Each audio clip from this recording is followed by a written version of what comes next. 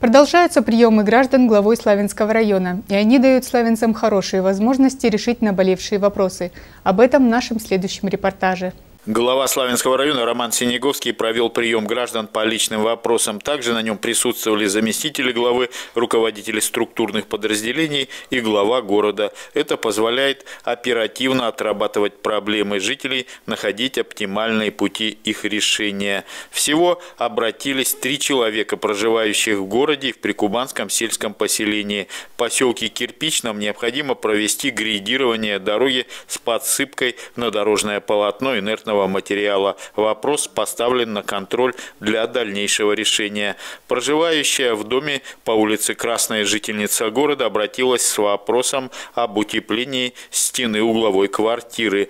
Роман Синеговский отметил, что нужно разобраться вместе со специалистами, что можно и нужно конкретно сделать. В течение недели наши специалисты посмотрят, скажут свое мнение. И мы с вами уже на улице непосредственно возле дома посоветуемся.